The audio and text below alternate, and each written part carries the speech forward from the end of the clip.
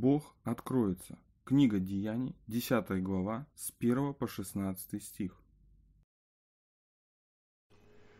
В Кесарии был некоторый муж именем Корнилий, сотник из полка, называемого Италийским, благочестивый и боящийся Бога со всем домом своим, творивший много милостыни народу и всегда молившийся Богу.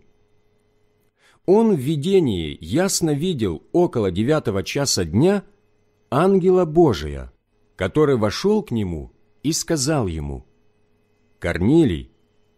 Он же, взглянув на него и испугавшись, сказал, «Что, Господи?»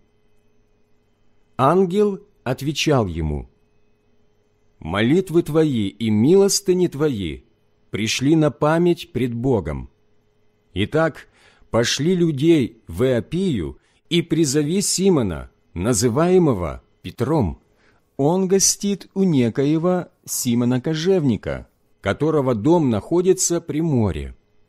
Он скажет тебе слова, которыми спасешься ты и весь дом твой. Когда ангел, говоривший с Корнилием, отошел, то он, призвав двоих из своих слуг и благочестивого воина из находившихся при нем, и, рассказав им все, послал их в Иопию. На другой день, когда они шли и приближались к городу, Петр около шестого часа взошел наверх дома помолиться. И почувствовал он голод и хотел есть. Между тем, как приготовляли, он пришел в выступление и видит отверстое небо, исходящий к нему некоторый сосуд – как бы большое полотно, привязанное за четыре угла и опускаемое на землю. В нем находились всякие четвероногие земные, звери, присмыкающиеся и птицы небесные. И был глаз к нему. «Встань, Петр, закали и ешь». Но Петр сказал, «Нет, Господи, я никогда не ел ничего скверного или нечистого. Тогда в другой раз был глаз к нему. Что Бог очистил, того ты не почитай нечистым. Это было трижды, и сосуд опять поднялся на небо. Размышление, часть первая. Бог помнит Корнилия, Книга Деяний, 10 глава, с 1 по 8 стих. В вопросе спасения у Бога не бывает любимчиков. Хотя Корнилий и римский сотник и происходит из язычников, он со всей семьей горячо молится Богу и проявляет на деле любовь к ближним, щедро благотворя бедным. Поэтому Бог принимает Корнилия и посылает ему ангела в видении. Ангел велит ему призвать Петра, но он не объясняет зачем.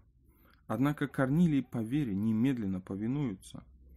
Бог готовит и его, и Петра, чтобы через них открыть миру, что началось спасение язычников. Он действует через тех, кто ему послушен, чтобы принести и другим спасение. Бывало ли так, что вы повиновались Богу, даже не понимая, почему Он просит вас что-то сделать? Чем это заканчивалось? Размышление, часть вторая. Видение Петра. Книга Деяний, 10 глава, с 9 по 16 стих. Нередко Бог открывает нам свою волю более подробно в молитве.